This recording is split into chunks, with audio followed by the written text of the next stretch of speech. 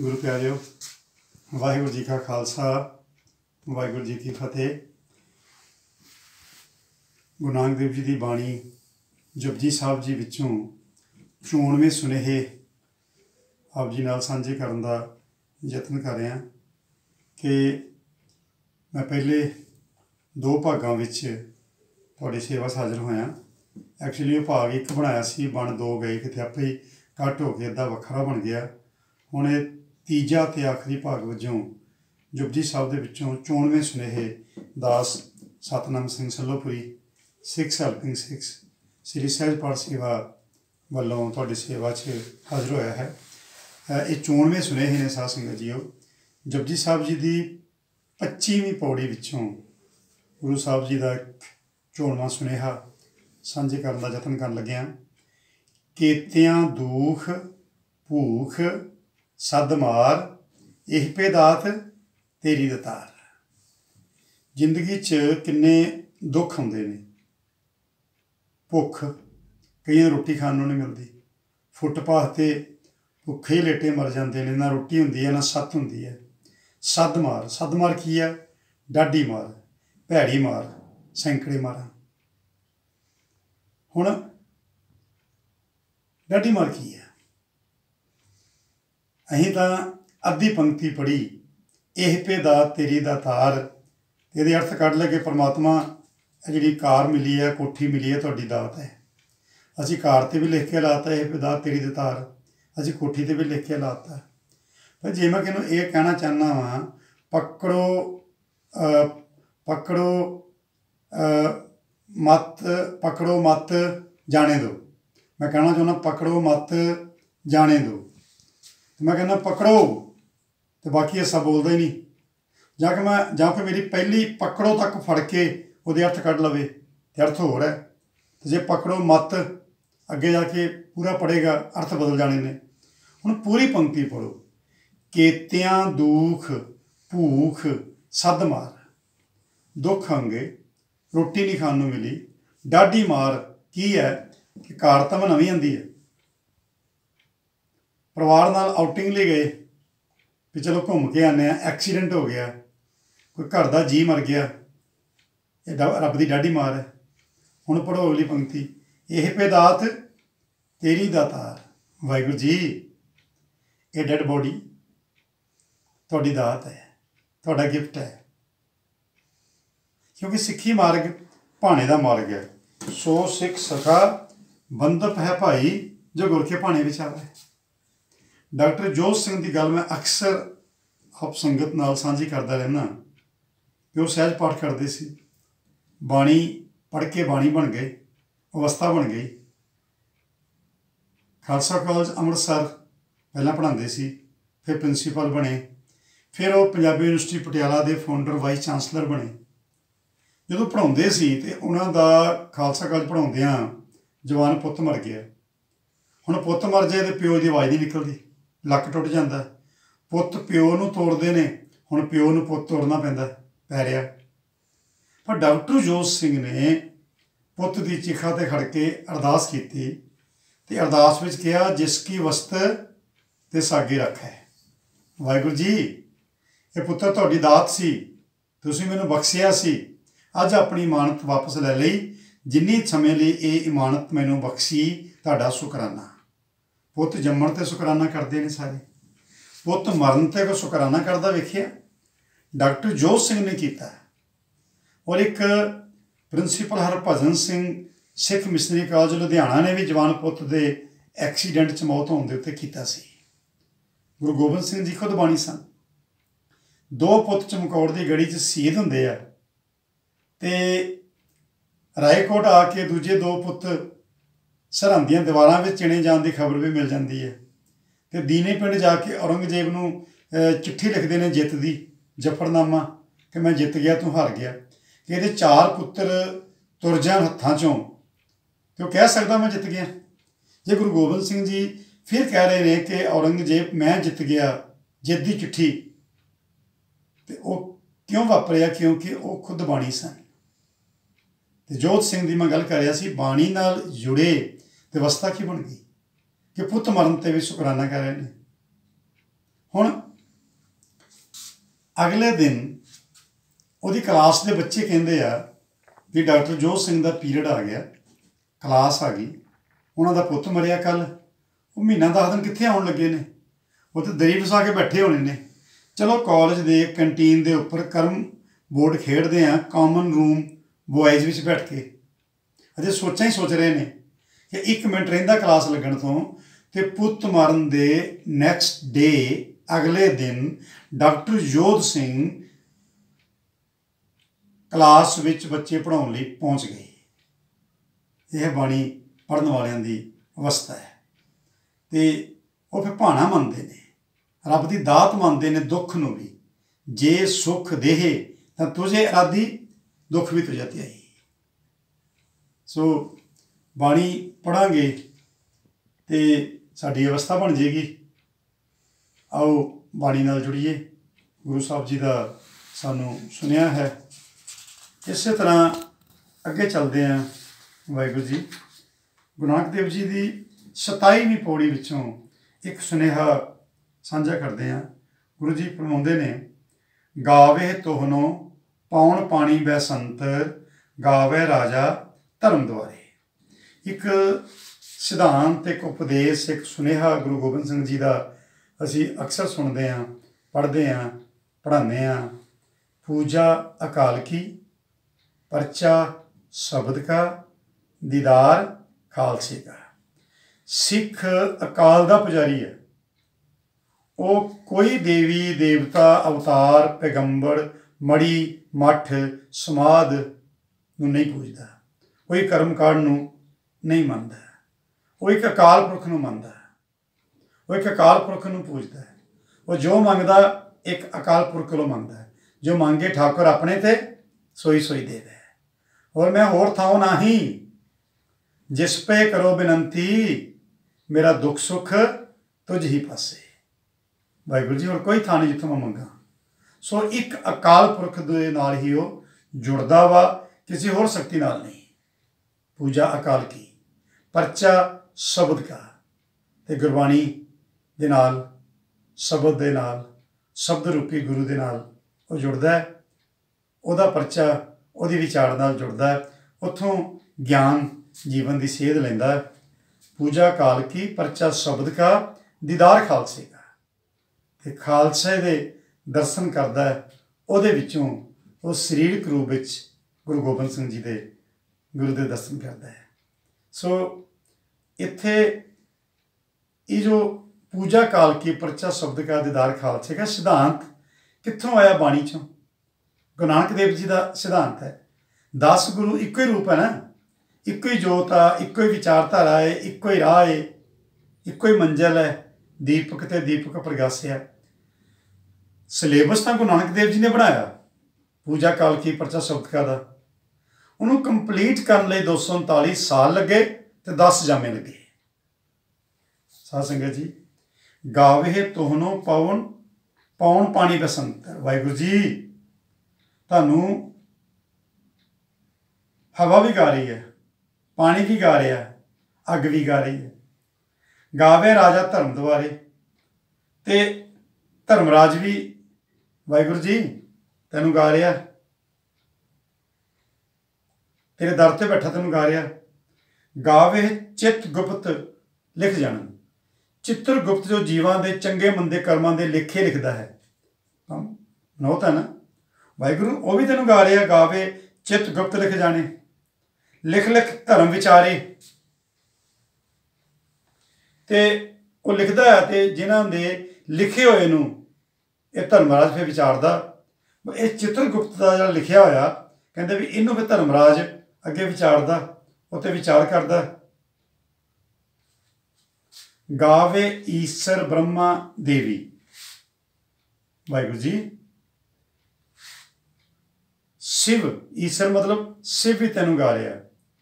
ਬ੍ਰਹਮਾ ਵੀ ਗਾ ਰਿਹਾ, ਦੇਵੀਆਂ ਵੀ ਗਾ ਰਹੀਆਂ ਨੇ। ਸੋਹਨ ਸਦਾ ਸਵਾਰੇ। ਵਾਹਿਗੁਰੂ ਜੀ, ਸੁੰਦਰ ਇਸਤਰੀਆਂ ਵੀ ਤੈਨੂੰ ਗਾ ਰਹੀਆਂ ਨੇ। ਮਾਫੀ ਦੇਣਾ। ਬ੍ਰਹਮਾ ਦੇਵੀ ਸੋਹਣ ਸਦਾ ਸਵਾਰੇ, ਜੋ ਤੇਰੇ ਸਵਾਰੇ ਹੋਏ ਹਨ, ਉਹ ਤੈਨੂੰ ਗਾ ਰਹੇ ਹਨ। ਮਾਫੀ। ਗਾਵੇ ਇੰਦ ਇੰਦਾਸਨ ਬੈਠੇ, ਇੰਦਰ ਵੀ ਆਪਣੇ ਤਖਤ ਤੇ ਬੈਠੇ ਹੋਏ, ਦੇਵਤਿਆਂ ਦਰਨਾਲੇ ਦੇਵਤਿਆਂ ਦੇ ਸਮੇਤ ਤੈਨੂੰ ਗਾ ਰਹੇ ਆ।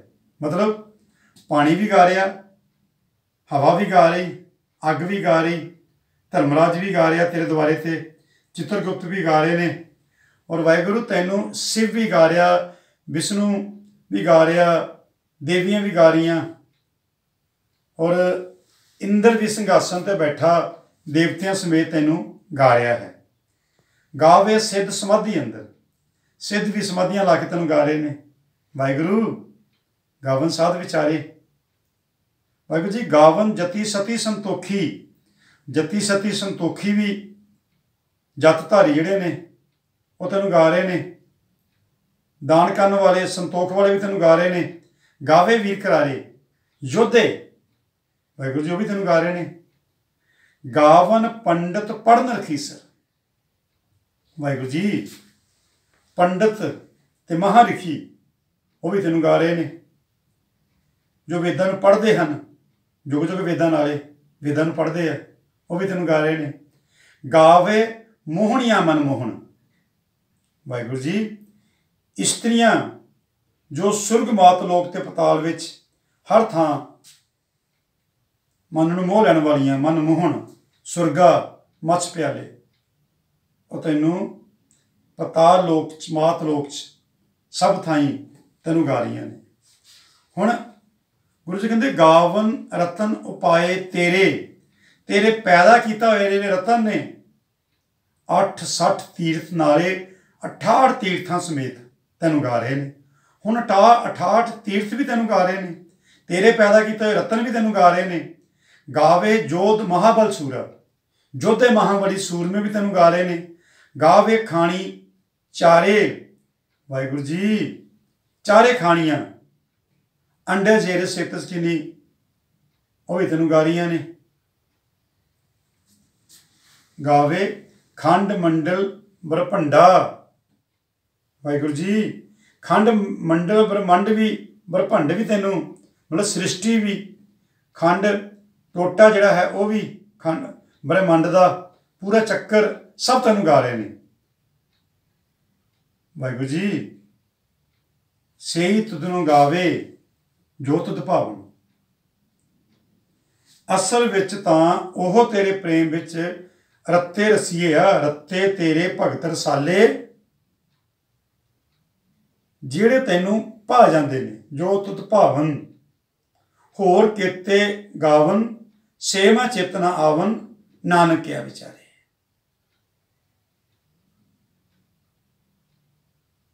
ਵਾਹਿਗੁਰੂ ਜੀ, ਤੇਰੇ ਪ੍ਰੇਮ ਵਿੱਚ ਰੱਤੇ ਰਸੀਏ ਭਗਤ ਜਨ ਤੈਨੂੰ ਗਾਉਂਦੇ ਹਨ, ਭਾਵ ਉਹਨਾਂ ਦਾ ਹੀ ਗਾਉਣਾ ਸਫਲ ਹੈ ਜੋ ਤੈਨੂੰ ਚੰਗੇ ਲੱਗਦੇ ਹਨ।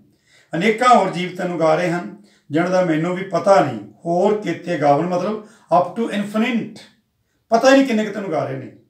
ਜਿਹੜਾ ਮੈਨੂੰ ਚੇਤ ਚੇਤਾ ਵੀ ਨਹੀਂ। ਨਾਨਕ ਆ ਵਿਚਾਰੇ। ਨਾਨਕ ਕੀ ਵਿਚਾਰ ਕਰ ਸਕਦਾ ਹੈ ਇਹਦੇ ਬਾਰੇ? ਵਾਹਿਗੁਰੂ ਜੀ, ਕੀ ਸੁਣਿਆ ਮਿਲਿਆ? ਕਿ ਤੂੰ 36 ਕਰੋੜ ਕਿ 33 ਕਰੋੜ ਦੇਵਤਿਆਂ ਪਿੱਛੇ ਤੁਰਦਾ ਤਾਂ ਗੁਰੂ ਨਾਨਕ ਦੇਵ ਜੀ ਕਹਿੰਦੇ ਆ ਵੀ ਜਿੰਨੇ ਵੀ ਨੇ, ਇਹ ਤੇ ਸਾਰੇ ਕਿਸੇ ਹੋਰ ਨੂੰ ਗਾ ਰਹੇ ਨੇ ਜਿਹਨੂੰ ਤੂੰ ਗਾ ਰਿਹਾ ਤੂੰ ਜਿਹਨਾਂ ਦੇਵਤਿਆਂ, ਦੇਵੀਆਂ ਨੂੰ ਗਾ ਰਿਹਾ ਵਾਂ, ਉਹ ਵੱਡੀ ਸੁਪਰੀਮ ਪਾਵਰ ਅਕਾਲ ਪੁਰਖ ਵਾਹਿਗੁਰੂ ਨੂੰ ਗਾ ਰਹੇ ਨੇ। ਤੇ ਫਿਰ ਤੂੰ ਉਹਨਾਂ ਨੂੰ ਕਿਉਂ ਗਾ ਰਿਹਾ? ਜਿਹਨੂੰ ਇਹ ਗਾ ਰਹੇ ਨੇ ਤੂੰ ਉਹਨੂੰ ਗਾ, ਤੂੰ ਵੀ ਕਾਲ ਪੁਰਖ ਨੂੰ ਗਾ, ਪੂਜਾ ਕਾਲ ਕੀ? ਸੋ ਇਸ ਪੰਕਤੀ ਵਿੱਚ ਸਾਨੂੰ ਸੁਨੇਹਾ ਹੈ ਕਿ ਅਸੀਂ ਕੇਵਲ ਅਕਾਲ ਪੁਰਖ ਨੂੰ ਧਿਆਉਣਾ ਵਾ, ਹੋਰ ਕਿਸੇ ਨੂੰ ਵੀ ਅਸੀਂ ਨਹੀਂ ਧਿਆਉਣਾ। ਆਓ 28ਵੀਂ ਪੌੜੀ ਵਿੱਚੋਂ ਗੁਰੂ ਜੀ ਦਾ ਸੁਨੇਹਾ ਸਾਂਝਾ ਕਰਦੇ ਹਾਂ। ਖਿੰਥਾ ਕਾਲ, ਕੁਆਰੀ ਕਾਇਆ ਜੁਗਤ, ਡੰਡਾ ਪ੍ਰਤੀਤ। ਸਿਰਫ ਇਹਨਾਂ ਸੁਣਿਆ ਲਵਾਂਗਾ, ਕੁਆਰੀ ਕਾਇਆ ਜੁਗਤ।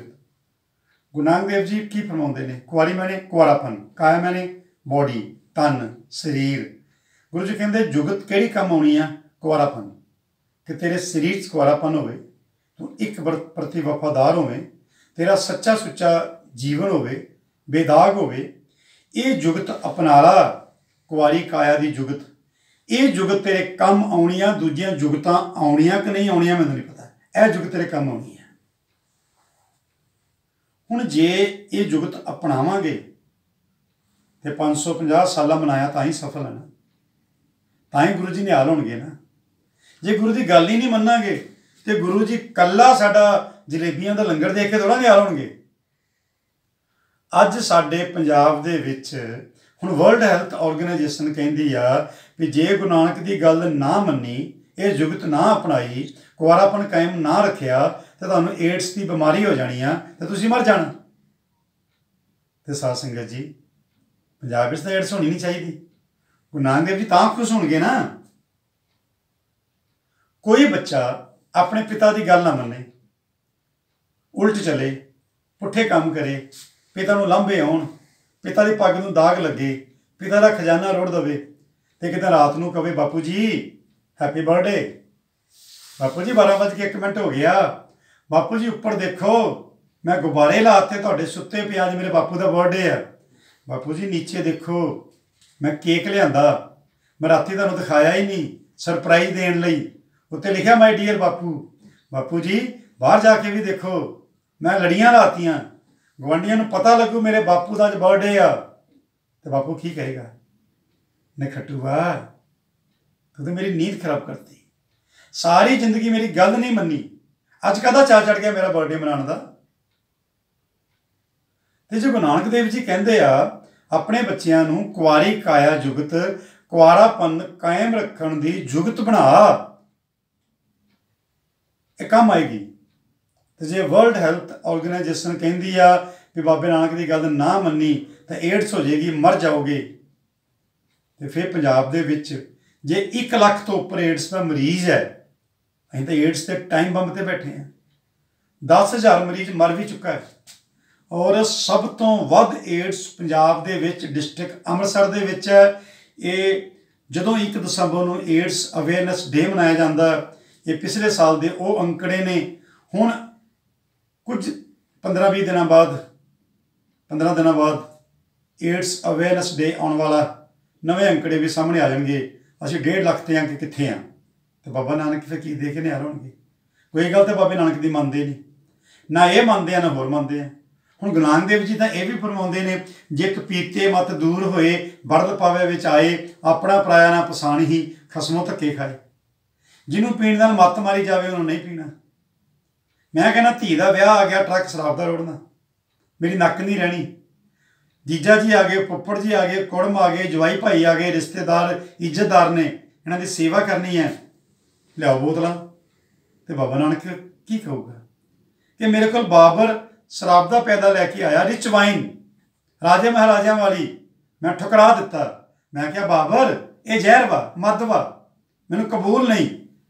ਤੁਸੀਂ ਤੇ ਮੇਰੀ ਗੱਲ ਹੀ ਨਹੀਂ ਮੰਨਦੇ। ਤੁਸੀਂ ਕਹੀ ਜਾਂਦੇ ਹੋ, ਨਾਨਕ ਆਇਆ ਨਾਨਕ ਆਇਆ। ਤੇ ਗੁਰੂ ਨਾਨਕ ਦੇਵ ਜੀ ਪੁੱਛਣਗੇ ਨਹੀਂ ਮੈਂ ਗਿਆ ਕਿੱਥੇ ਆ? ਤੁਸੀਂ ਜਪਜੀ ਪੜ੍ਹਦੇ ਹੋ, ਮੈਂ ਤੁਹਾਡੇ ਨਾਲ ਗੱਲ ਕਰਦਾ। ਮੈਂ ਤੁਹਾਨੂੰ ਕਹਿਣਾ ਕੁਆਰਾਪਨ ਕਾਇਮ ਰੱਖ। ਮੈਂ ਤੁਹਾਨੂੰ ਕਹਿਣਾ ਆਹ ਕੰਮ ਕਰੋ ਆ ਨਾ ਕਰੋ। ਤੁਸੀਂ ਤੇ ਮੇਰੀ ਗੱਲ ਹੀ ਨਹੀਂ ਸੁਣਦੇ। ਉਹੀ ਮੈਨੂੰ ਲੱਭੀ ਜਾਂਦੇ ਜਦੋਂ ਮੈਂ ਗਵਾਚਿਆ ਹੁਣਾ ਸਾਧ ਸੰਗਤ ਜੀ, ਜੇ ਮਲਕ ਭਾਗੋ ਨੇ ਗੁਰੂ ਦੀ ਗੱਲ ਨਹੀਂ ਮੰਨੀ, ਤੇ ਉਹਦਾ ਉਹਦਾ ਜਲੇਬੀਆਂ ਦਾ, ਪਕੌੜਿਆਂ ਦਾ ਉਹਦਾ ਦੇਸੀ ਜਿਹੜੀਆਂ ਖੀਰਾਂ ਕੜਾਹ ਪੂੜੇ ਦਾ ਜਿਹੜਾ ਪਕਵਾਨ ਪ੍ਰਵਾਨ ਨਹੀਂ ਹੋਇਆ, ਸਾਨੂੰ ਕਿੰਨੇ ਭੁਲੇਖਾ ਪਾਤਾ? ਕਿ ਗੁਰੂ ਦੀ ਗੱਲ ਨਹੀਂ ਮੰਨਾਂਗੇ, ਤੇ ਸਾਡਾ ਜਿਹੜਾ ਇਹ ਪਕਵਾਨ ਪ੍ਰਵਾਨ ਹੋ ਜਾਏਗਾ, ਸਾਡਾ ਨਗਰ ਕੀਰਤਨ ਪ੍ਰਵਾਨ ਹੋ ਜਾਏਗਾ, ਸਾਡਾ ਬੈਂਡ ਬਾਜਾ ਪ੍ਰਵਾਨ ਹੋ ਜਾਏਗਾ। ਸੋ, ਇਹ ਸੁਨੇਹਾ ਗੁਰੂ ਸਾਹਿਬ ਜੀ ਦਾ ਵੀ ਕੁਵਾਰਾਪਨ ਕਾਇਮ ਰੱਖਿਓ, ਜ਼ਿੰਦਗੀ ਵਿੱਚ ਬਿਮਾਰੀਆਂ ਤੋਂ ਬਚੇ ਰਹੋਗੇ। ਮਾਨਸਿਕ ਪਰੇਸ਼ਾਨੀਆਂ ਤੋਂ ਵੀ, ਸਰੀਰਕ ਬਿਮਾਰੀਆਂ ਤੋਂ ਵੀ, ਲੰਮੀ ਉਮਰ ਪਾਓਗੇ, ਚੜ੍ਹਦੀ ਕਲਾ 'ਚ ਰਹੋਗੇ ਆਓ ਗੁਰੂ ਦੀ ਗੱਲ ਮੰਨੀਏ। ਵਾਹਿਗੁਰੂ ਜੀ, ਫਿਰ ਅੱਗੇ ਚੱਲਦੇ ਆਂ 30ਵੀਂ ਪੌੜੀ, ਏਕਾ ਮਾਈ, ਜੁਗਤ ਵਿਆਹੀ, ਤਿੰਨ ਚੇਲੇ ਪ੍ਰਵਾਨ। ਪਹਿਲਾਂ ਗੁਰੂ ਜੀ ਜੋ ਜੋ ਮਨੌਤ ਹੈ, ਜੋ ਲੋਕਾਂ ਦਾ ਖਿਆਲ ਹੈ, ਗੁਰੂ ਜੀ ਦਾ ਢੰਗ ਹੈ ਨਾ, ਉਹ ਬਿਆਨ ਕਰਦੇ ਨੇ। ਫਿਰ ਜੋ ਸੁਨਿਆ ਹੈ, ਸੱਚ, ਉਹ ਬਿਆਨ ਕਰਦੇ ਨੇ। ਗੁਰੂ ਜੀ ਕਹਿੰਦੇ, ਏਕਾ ਮਾਈ ਜੁਗਤ ਵਿਆਹੀ। ਮਾਈ ਮਤਲਬ ਮਾਇਆ। ਜੁਗਤ ਮਤਲਬ ਤਰੀਕੇ ਨਾਲ ਵਿਆਹੀ ਮਤਲਬ ਪ੍ਰਸਤੁਤ ਹੋਈ, ਪੈਦਾ ਹੋਈ। ਲੋਕਾਂ ਵਿੱਚ ਖਿਆਲ ਆਮ ਪ੍ਰਚਲਿਤ ਸੀ ਉਦੋਂ ਕਿ ਇਕੱਲੀ ਮਾਇਆ ਕਿਸੇ ਜੁਗਤੀ ਨਾਲ ਪ੍ਰਸਤੁਤੀ ਉਹਦੀ ਹੋਈ, ਉਹ ਪੈਦਾ ਹੋਈ। ਤਿੰਨ ਚੇਲੇ ਪ੍ਰਵਾਨ ਪ੍ਰਵਾਨ ਮਤਲਬ ਪ੍ਰਤੱਖ ਤੇ ਉਹਦੇ ਤਿੰਨ ਚੇਲੇ ਉਹਨੇ ਜੰਮੇ। ਇੱਕ ਸੰਸਾਰੀ ਸੰਸਾਰੀ ਮਤਲਬ ਜਿਹੜਾ ਘਰ-ਬਾਰ ਚਲਾਉਂਦਾ ਸੀ। ਇੱਕ ਭੰਡਾਰੀ ਜਿਹੜਾ ਭੰਡਾਰੇ ਬਖਸ਼ਦਾ ਸੀ। ਤੇ ਇੱਕ ਲਾਏ ਦੀਵਾਨ ਤੇ ਇੱਕ ਜਿਹੜਾ ਦਰਬਾਰ ਮਤਲਬ ਕਚਹਿਰੀ ਲਾ ਕੇ ਬੈਂਦਾ ਸੀ। ਇੰਜ ਕਹਿ ਲੋ ਇੱਕ ਬ੍ਰਹਮਾ, ਇੱਕ ਸੰਸਾਰੀ ਜਿਹੜਾ ਦੁਨੀਆ ਤੇ ਲੋਕਾਂ ਨੂੰ ਭੇਜਦਾ ਜੇ ਕੋ ਜੰਮਣ ਦਾ ਕੰਟਰੋਲ ਹੈ। ਇਹ ਦੁਨਿਆਵੀ ਮਨੌਤ ਨੂੰ ਗੁਰੂ ਜੀ ਪੇਸ਼ ਕਰ ਰਹੇ ਨੇ। ਇੱਕ ਭੰਡਾਰੀ ਭੰਡਾਰੀ ਕੌਣ ਹੋਇਆ? ਬ੍ਰਹਮਾ ਤੋਂ ਬਾਅਦ ਵਿਸ਼ਨੂੰ। ਜਿਹੜਾ ਭੰਡਾਰੇ ਬਖਸ਼ਦਾ, ਰੋਟੀ ਬਖਸ਼ਦਾ, ਕੌਣ ਰੱਜਿਆ, ਕੌਣ ਭੁੱਖਾ ਹੈ? ਇੱਕ ਲਾਏ ਦੀਵਾਨ ਤੇ ਇੱਕ ਬ੍ਰਹਮਾ, ਵਿਸ਼ਨੂੰ ਤੇ ਤੀਜਾ ਕਿਹੜਾ? ਸ਼ਿਵ। ਜਿਹੜਾ ਕਚਹਿਰੀ ਲਾਉਂਦਾ, ਦੀਵਾਨ ਲਾਉਂਦਾ। ਮਤਲਬ ਕਚਹਿਰੀ, ਜਿੱਥੇ ਬੈਠ ਕੇ ਉਹ ਲੇਖਾ ਜੋਖਾ ਕਰਦਾ ਵੀ ਕਿੰਨੂੰ ਹੁਣ ਮੌਤ ਦੇਣੀ ਆ, ਵਾਪਸ ਬੁਲਾਉਣਾ। ਵੀ ਤੂੰ ਆਜਾ ਭਾਈ, ਤੇਰੇ ਜੀਵਨ ਖਤਮ ਹੋ ਗਿਆ। ਕਿੰਨੂੰ ਮਾਰਨਾ ਡਿਸਟਰੋਏ ਕਰਨਾ, ਬਰਬਾਦ ਕਰਨਾ। ਸੋ ਇਹ ਤਿੰਨ ਡਿਪਾਰਟਮੈਂਟ ਜਿਹੜੇ ਆ, ਇਹ ਜੋ ਮਨੌਤ ਹੈ, ਉਹਦੀ ਗੱਲ ਗੁਰੂ ਜੀ ਕਰਕੇ ਫਿਰ ਅੱਗੇ ਸਾਨੂੰ ਸਮਝਾਉਂਦੇ ਨੇ, ਉਪਦੇਸ਼ ਦਿੰਦੇ ਨੇ, ਸੁਨੇਹਾ ਦਿੰਦੇ ਨੇ ਕਿ ਜੀਵ ਤੇ ਸੁਭਾਵ ਹੈ ਤੇ ਵੈ ਚਲਾਵੇ। ਕਹਿੰਦੇ ਅਸਲ ਗੱਲ ਕੀ ਹੈ ਕਿ ਕੋਈ ਇਹ ਸ਼ਕਤੀਆਂ ਨਹੀਂ। ਅਸਲ ਗੱਲ ਇਹ ਹੈ ਕਿ ਉਹ ਅਕਾਲ ਪੁਰਖ ਸੁਪਰੀਮ ਪਾਵਰ ਹੈ ਤੇ ਉਹਦੇ ਹੁਕਮ ਤੇ ਸਭ ਕੁਝ ਚੱਲਦਾ ਹੈ। ਜੇ ਸ਼ਕਤੀਆਂ ਹੈਗੀਆਂ ਨੇ, ਸਾਰੀਆਂ ਉਸ ਪਰਮਾਤਮਾ, ਗੋਡ, ਵਾਹਿਗੁਰੂ ਅੱਲਾ ਦੇ ਅੰਡਰ ਨੇ, ਉਹਦੇ ਤਹਿਤ ਨੇ। ਜਿਵੇਂ ਤੁਸੀਂ ਸੁਭਾਵ ਹੈ ਤੇ ਵਿੱਚ ਲਾਵੇ। ਜਿਵੇਂ ਕਾਲਪੁਰਖ ਨੂੰ ਭਾਉਂਦਾ ਉਵੇਂ ਉਹ ਸੰਸਾਰ ਪੈਦਾ ਸੰਸਾਰ ਚਲਾ ਰਿਹਾ।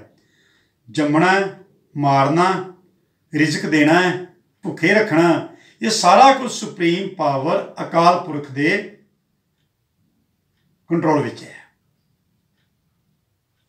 ਜਿਵੇਂ ਤੇ ਸੁਭਾਵ ਹੈ ਤਿਵੇਂ, ਚਲਾਵੇ, ਜੇ ਹੋਵੇ, ਫਰਮਾਨ, ਉਹਦੇ ਫਰਮਾਨ ਉਹਦੇ ਹੁਕਮ ਨਾਲ ਚੱਲ ਰਿਹਾ ਸਾਰਾ ਕੁਝ।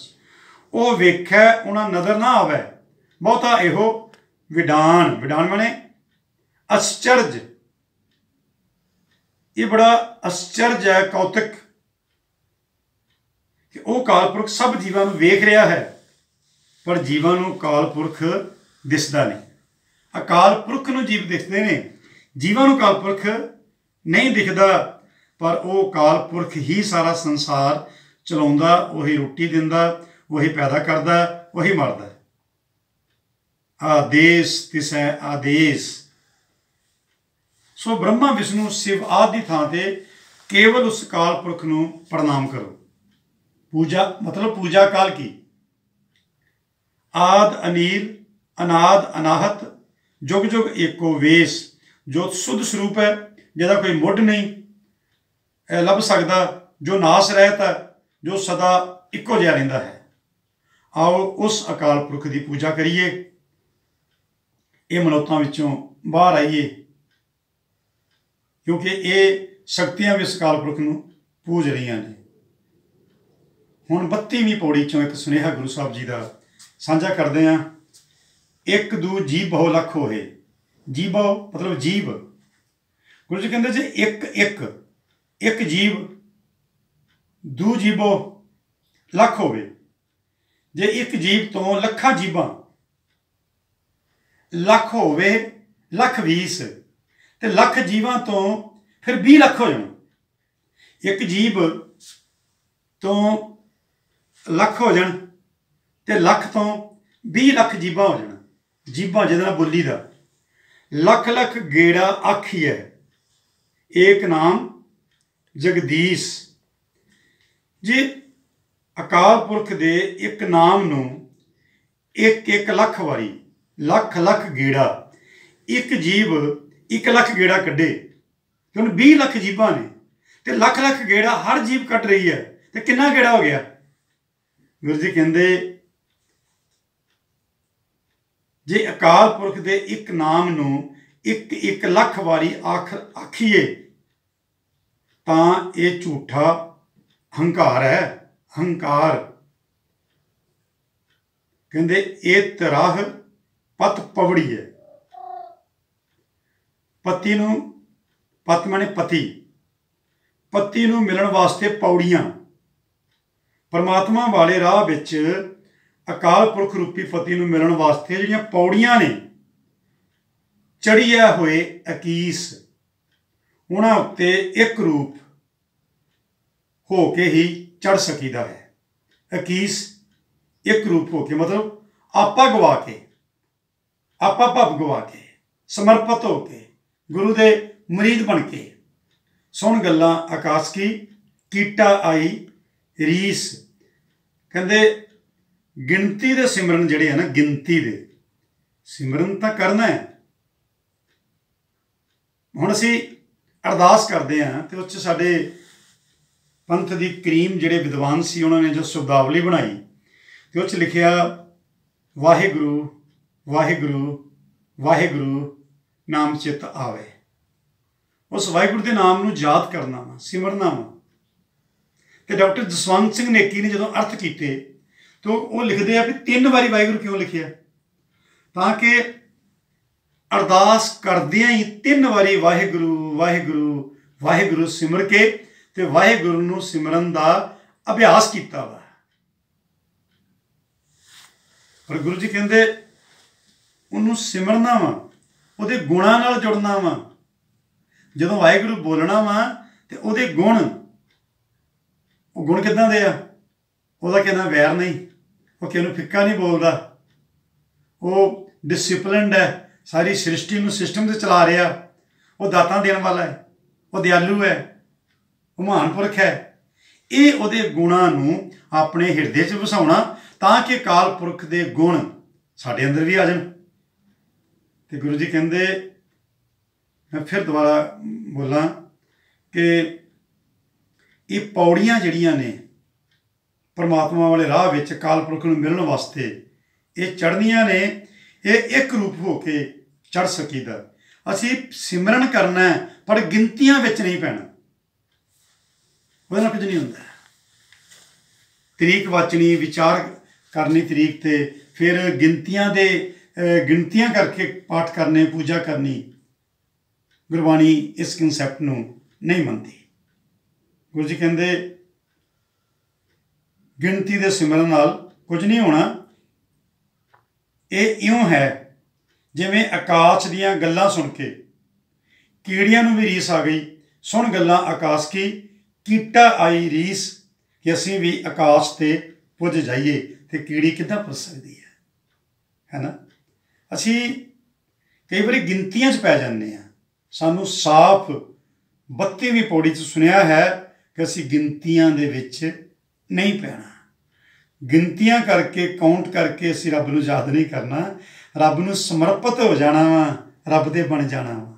ਮੁਰਦਾ ਹੋਏ ਮੁਰੀਦ, ਨਾ ਗੱਲੀ ਹੋਣਾ ਸਾਬਰ, ਸਿਦਕ, ਸ਼ਹੀਦ ਭਰਮ ਭੁਖ ਹੋਣਾ ਗੋਲਾ, ਮੁੱਲ, ਖਰੀਦ ਕਾਰੇ ਜੋਬਣਾ ਵਾਹਿਗੁਰੂ ਦੇ ਮੁੱਲ ਖਰੀਦੇ ਹੋਏ ਗੋਲੇ ਨੌਕਰ ਬਣ ਜਾਣਾ ਤੇ ਉਹਦੀ ਸੇਵਾ 'ਚ ਡਟ ਜਾਣਾ। ਵਾਹਿਗੁਰੂ ਜੀ, ਇਹ ਸੁਨੇਹਾ ਆਪਾਂ ਲਈਏ। ਆਓ ਆਪਾਂ ਜੋ ਕਿ ਵਿੱਚੋਂ ਵਿੱਚੋਂ ਚੋਣਵੇਂ ਸੁਨੇਹੇ ਸਾਂਝੇ ਕਰ ਰਹੇ ਹਾਂ। ਹੁਣ 35ਵੀਂ ਪੌੜੀ 'ਚ ਆਪਾਂ ਪਹੁੰਚਦੇ ਹਾਂ। ਇੱਥੇ ਗੁਰੂ ਜੀ ਫਰਮਾਉਂਦੇ ਨੇ, ਵਾਹਿਗੁਰੂ ਜੀ, ਧਰਮ ਖੰਡ ਕਾ ਇਹੋ ਧਰਮ ਗਿਆਨ ਖੰਡ ਕਾ ਆਖੋ ਕਰਮ। ਜਪਜੀ ਸਾਹਿਬ ਵਿੱਚ ਪੰਜ ਖੰਡ ਵਰਣਨ ਕੀਤੇ ਗਏ ਨੇ। ਇਹ ਪੰਜ ਖੰਡ ਕੀ ਨੇ? ਪੰਜ ਸਾਡੇ ਹਿਰਦੇ ਦੇ ਅੰਦਰ ਦੀ ਜੋ ਸਾਡੀ ਅਵਸਥਾ ਹੈ, ਉਹਦੇ ਪੜਾਅ ਨੇ। ਜੋ ਡਿਵੈਲਪਮੈਂਟਸ ਹੁੰਦੀਆਂ ਨੇ, ਇੱਕ ਤੋਂ ਬਾਅਦ ਦੂਜੀ ਦੂਜੀ ਬਾਅਦ ਤੀਜੀ, ਇਹ ਪੰਜ ਡਿਵੈਲਪਮੈਂਟ ਦੀਆਂ ਪੌੜੀਆਂ ਨੇ, ਪੰਜ ਪੜਾਅ ਨੇ, ਪੰਜ ਖੰਡ ਨੇ। ਧਰਮ ਖੰਡ ਕਾ ਇਹੋ ਧਰਮ, ਗਿਆਨ ਖੰਡ ਕਾ ਆਖੋ ਕਰਮ। ਧਰਮ ਖੰਡ ਦਾ ਨਿਰਾ ਇਹੋ ਧਰਮ ਹੈ, ਜੋ ਇਸ ਤੋਂ ਪਹਿਲੀ 34ਵੀਂ ਪੌੜੀ 'ਚ ਦੱਸਿਆ ਗਿਆ ਹੈ। ਵਾਹਿਗੁਰੂ ਜੀ, ਗਿਆਨ ਖੰਡ ਕਾ ਆਖੋ ਕਰਮ। ਹੁਣ ਗਿਆਨ ਖੰਡ ਦਾ ਕਰਤੱਵ ਵੀ ਸਮਝ ਲਓ ਵੀ ਉਹ ਕੀ ਹੈ। ਮਾਫੀ ਦੇਣਾ ਮੈਂ 25ਵੀਂ ਪੌੜੀ ਤੇ ਸਿੱਧਾ ਆ ਗਿਆ। ਚੌਥੀਵੀਂ ਪੌੜੀ ਤੋਂ ਸ਼ੁਰੂ ਕਰਦੇ ਹਾਂ। ਰਾਤੀ ਰੁੱਤੀ ਥਿੱਤੀ ਵਾਰ।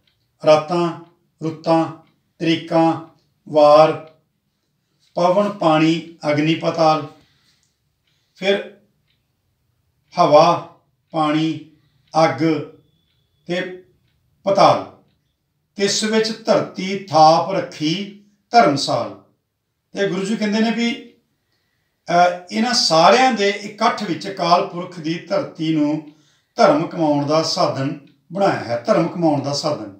ਧਰਤੀ ਦੇ ਉੱਤੇ ਕੀ ਰੱਖਿਆ? ਰਾਤਾਂ ਨੇ, ਰੁੱਤਾਂ ਨੇ, ਹੋਰ ਕੀ ਆ? ਤਰੀਕਾਂ ਨੇ, ਵਾਰ ਹੈ। ਫਿਰ ਪਵਨ ਹਵਾ ਹੈ, ਪਾਣੀ ਹੈ, ਅੱਗ ਵਾ ਤੇ ਪਤਾਲ ਹੈ। ਹੁਣ ਇਹ ਚੀਜ਼ਾਂ ਹਵਾ, ਅੱਗ, ਪਾਣੀ ਬਿਨਾਂ ਤਾਂ ਮਨੁੱਖ ਜੀ ਨਹੀਂ ਸਕਦਾ। ਇਹ ਚੀਜ਼ਾਂ ਰੱਖਤੀਆਂ ਤੇ ਇਸ ਧਰਤੀ ਉੱਤੇ ਮਨੁੱਖ ਨੂੰ ਕਿਹਾ ਧਰਮ ਕਮਾ? ਧਰਮ ਕਮਾਉਣ ਲਈ ਸਥਾਨ ਬਣਾਇਆ। ਫਿਰ ਤਿਸ ਵਿੱਚ ਤਿਸ ਵਿੱਚ ਜੀ, ਜੋਤ ਕੇ ਰੰਗ। ਹੁਣ ਕਿਉਂਕਿ ਧਰਤੀ ਉੱਤੇ ਕਿੰਨੇ ਤਰ੍ਹਾਂ ਦੇ ਲੋਕ ਵਸਦੇ ਆ?